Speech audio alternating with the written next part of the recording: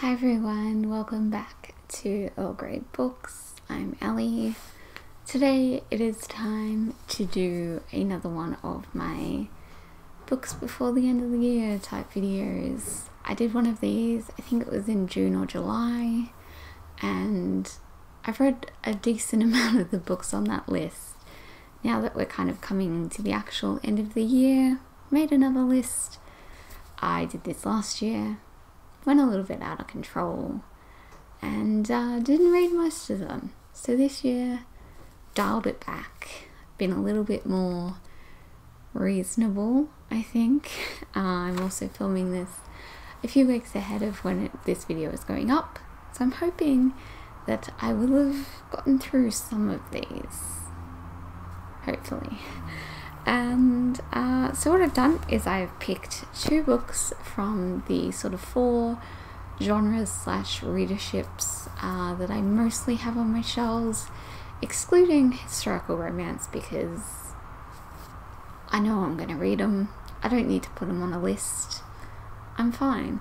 So uh, I've gone for non-fiction, classics, adult, and YA and I've got a couple of different books in there. Let's get started. We're going to start with non-fiction because these were both in my non-fiction November TBR and thus I am hoping I have started them.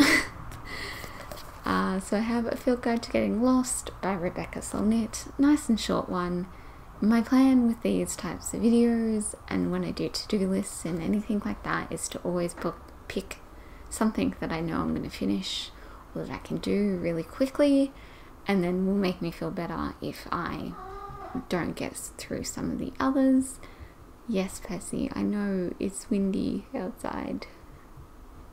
Percy is not a fan of wind or rain, and it is both of those things today. But yes, nice quick one, should get through it.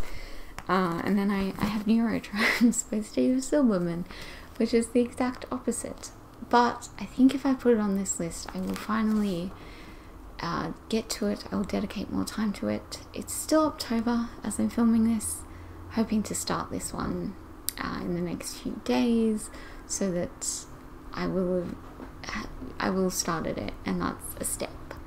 Um, it's a step closer to being done. So this one's been on my shelf for a really long time. Need to get to it. Uh, let's move on to classics. Uh, this one is one that might change. Uh, so first up, I went with the collected poems of Sylvia Plath, which I started reading quite a while ago, and I'm 80 pages in. I was I've been reading it like kind of year by year, and then you know taking quite quite the break. So like a couple days I'll read all the books. I'm up to 1958. I'll read all the poems in that year over a few days and then I've been giving it like two to three weeks before I read any others. Um, but yes, I really want to get through this because uh, again I've had this on my shelf for a really long time and I just want to I just want to read them and you know I've read a lot of them before but just the idea of of having read them all sounds good to me. And I have quite a few of these like collected poems of different poets that I'm trying to work through. And yes, Plath is, is the one that I'm going to start with. Uh, and then I also have The Hunchback of Notre Dame by Victor Hugo. So the thing with this one is that I, I think I'd like to listen to it as an audiobook, um, but I haven't really found one that I like. Uh, if you happen to know of one, please let me know. Um, I've just kind of been sampling them on Audible and um, I have a couple of like services that I pay for so if anyone knows of any that are good please let me know um, I did start this one when I bought this in like 2013 and I think I made it like a, a decent like 120 pages into it I don't. I have no memories of it though. So I um. Well, I'm definitely going to start from the start, but also I think that I, I need an audiobook to help me through with some of these classics because I pick up on things that I don't necessarily pick up on when I'm reading. Uh, it's a different reading experience than reading a non-fiction or reading a YA or even a, an adult for me. So that's what I think I'm going to do. And that one might be one that I switch out if I can't find an audiobook. I have a couple of other classics that I might pick up instead of that one. Let's move on to adult. I have Half Blood Blues by, by Esi Edugyan. I read Washington Black last August, I think it was, and loved it. One of the best books I read last year, and I, I bought this one pretty quickly after that. And I just really want to get to this one. It's not super thick, I think I can do it. I also have an audiobook of this on Scribd, so I might listen and read. And then, of course, had to throw in some Australian lit. And I went with Below Deck by Sophie Hardcastle. I bought this one back in, I think it was like March. And I haven't picked it up. Um, this is also one that I put on my spring TBR, which is a post I did as um, part of Top 10 Tuesday on my blog, which I'll link below. And uh, yes, so I'm putting this one on this list as well, so that then I, it's like two birds, one stone. So, and then onto YA. Um,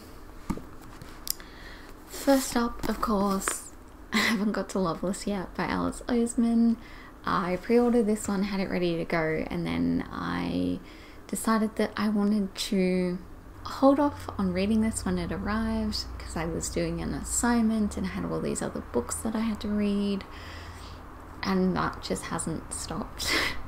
There's still been all these things I need to read, so if I put it on a list of books I need to read, I will allow myself to read it. So, I'm very excited for this one. Huge fan of Alice Oseman. I have been ever since Solitaire, her first book, came out in like 2014, 2015. So, yes, very excited for this. And then this one, uh, I'm counting, but this will be a reread for me, uh, which is Monday is Not Coming by Tiffany D. Jackson. I just read Allegedly in October, which was her first book, and this is her next book, and then I own her next two books. And I already wanted to reread this, so I kind of have decided that I'm going to read them in order now. So this is my next one up. So yes, will not take anything off my TBR because it is a reread, but I will hopefully read the other Tiffany D. Jackson books after this. So it's kind of one of those books that works towards getting other things off my TBR. Almost like reading a series, but it's all the one author and not related in any way. So yeah, those are the books I want to read by the end of 2020. I think this is a much more doable list than the ones that I picked last year. And uh, it's getting very windy outside. So I think I'm going to curl up with a book, maybe one of these, maybe something else, and uh, read for the rest of today. So thank you all so much for watching. I hope you're all doing well, and I will see you guys next time. Bye!